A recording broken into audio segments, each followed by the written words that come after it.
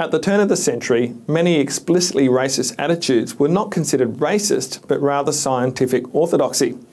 It was assumed that races differed in terms of intelligence, sophistication, and morality.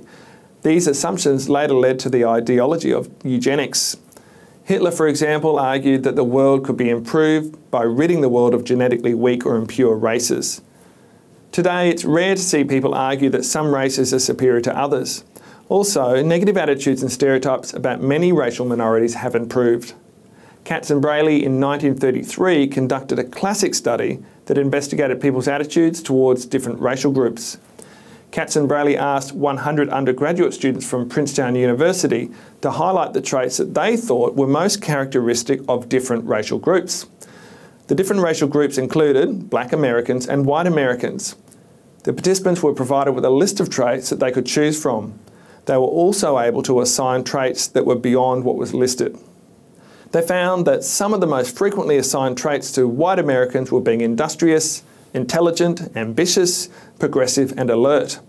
And for the black Americans, it was traits such as superstitious, lazy, ignorant, religious, and stupid. This study has been replicated by Gilbert in 1951 and again Karlins and colleagues in 1969. Together, these studies are known as the Princeton Trilogy and have documented the changes in stereotyping across the different generations of Princeton students.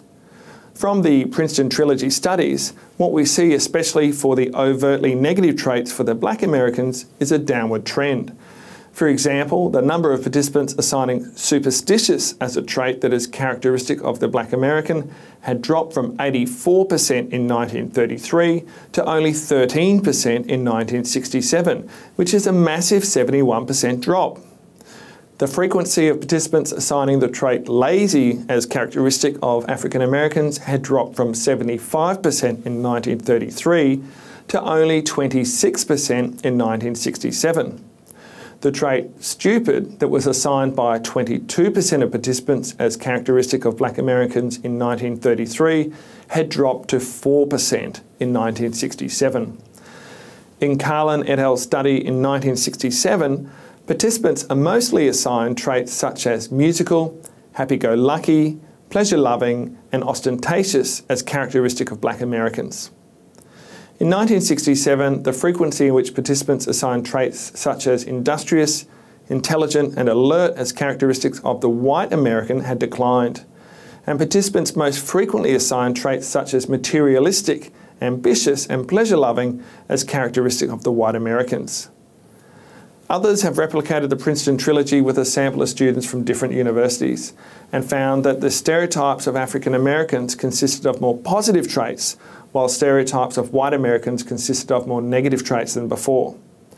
More recently, researchers found that regardless of race, almost all stereotypes have become more favourable.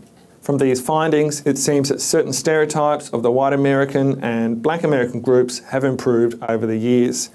This is a good news story, right? You can look at this data in two ways though.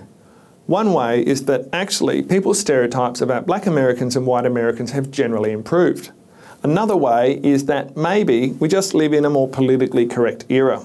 In 1933, it was okay for people to portray black Americans as lazy and ignorant. Now, everyone knows to keep negative stereotypes to themselves.